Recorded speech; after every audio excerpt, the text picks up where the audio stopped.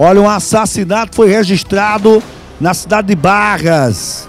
Ao vivo com o repórter Alexandre Gomes, trazendo informações de Barras e região. Boa tarde, Alexandre. Onde está você? Tudo beleza? Muito boa tarde, Beto Rego. Boa tarde a você que acompanha o Balanço Geral Meio-Dia. Estou falando aqui de José de Freitas, região Centro-Norte, trazendo todas as informações de toda essa região. E o fato aconteceu ontem no município de Barras, onde dois jovens estavam próximo à residência abandonada quando chegaram dois homens em uma motocicleta já atirando.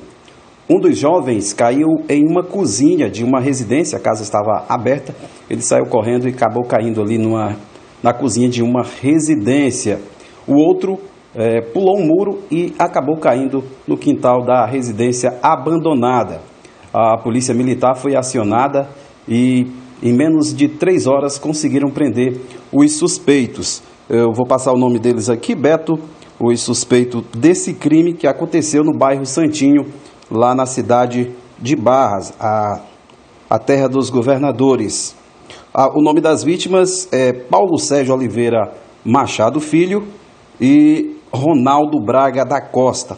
O Paulo Sérgio foi encaminhado para o hospital do município de Barras, mas acabou falecendo. Vamos ouvir mais detalhes com o capitão Batista, que comanda a Polícia Militar do município de Barras.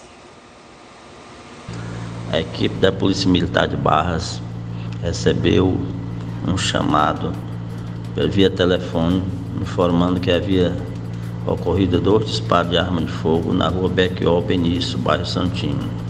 Ao chegar no endereço, a guarnição localizou um indivíduo de iniciais PSOMF caído na cozinha de uma moradora e outro no terreno de uma residência abandonada, de iniciais RBC.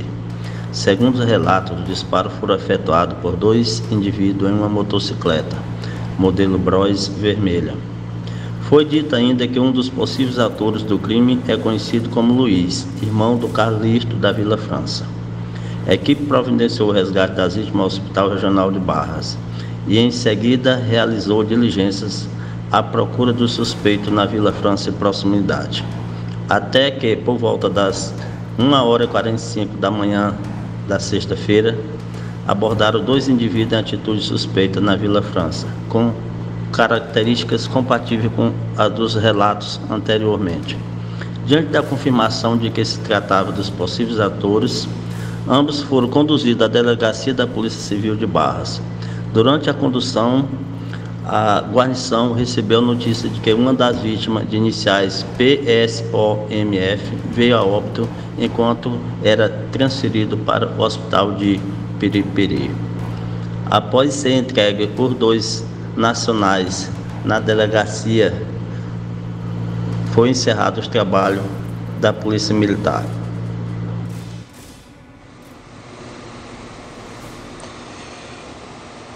Tá aí, Beto, o capitão Batista, que comanda a Polícia Militar lá no município de Barras. O nome dos homens que foram presos, você pode ver na imagem, Luiz de Carvalho Silva, 41 anos, e Samuel dos Santos, 38 anos de idade. Agradecer também aqui o jornalista Francisco Duarte, né, pelas informações e eu volto com você no estúdio, Beto Rego.